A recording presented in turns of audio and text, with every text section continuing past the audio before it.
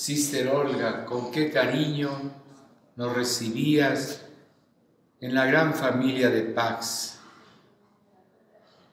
Tu delicadeza, tu atención, tu cariño y sobre todo sabías de la gran amistad que tenía con tu hermano Ernesto. Ya te has encontrado con él en el cielo y estarán celebrando a Santa Rosa. Mi oración, mi compromiso, mis condolencias para nuestro querido Padre Roberto, para las sisters, para toda la familia que en Pax Televisión siempre nos reúne para la oración, para la amistad, para las obras de apostolado. La partida de los seres queridos entristece el alma. Y ya lo dice el apóstol, no hay palabra de consuelo, solo la que brota de Jesús y la oración de la iglesia que mitiga nuestra pena paz en el alma de nuestra hermana Olga, descanso en la sepultura y que goce del cielo con la Virgen y los bienaventurados. Su alma y las almas de los fieles difuntos, por la misericordia de Dios, participen del reino eterno. Amén.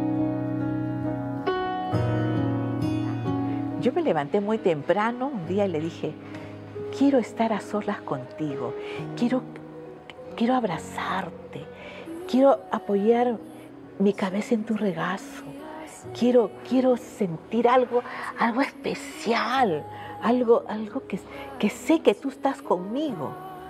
Y entonces me fui al sagrario y encontré a una, a una hermana, a una señora, y le digo, yo te dije que quería estar a solas contigo. Se levantó la señora y me quedé a solas con él. Y me acuerdo que el sagrario del colegio estaba a una altura así. Entonces yo me he acercado y dije, ven, ven, ven, que quiero abrazarme a ti, que quiero, quiero, quiero estar cerca de ti, quiero abrazarte, quiero apoyar mi cabeza, quiero, quiero que tú me caricies. ¿Sabes cuál fue su caricia?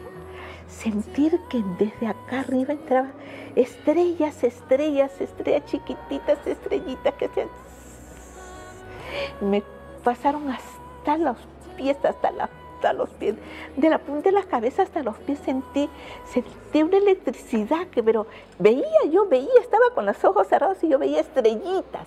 Intensamente lo puedo recordar. Yo creo que el regalo para mí es seguir sintiendo la paz y aceptar con humildad las cosas que me vienen. El Señor nunca nos abandona, nunca abandona a las personas que le decimos sí al Señor, a las personas que dejamos todo por Él, porque Él es, Él es el que nos está llamando y esta vida, ¿esta vida qué es? Se termina. La vida eterna está cerca de Él. Eso es lo que yo creo que esa es la felicidad. Esa es la felicidad. Que, que poder decirle, gracias Señor, porque un día te fijaste en mí. Te fijaste en mí y gracias, porque te pude decir sí.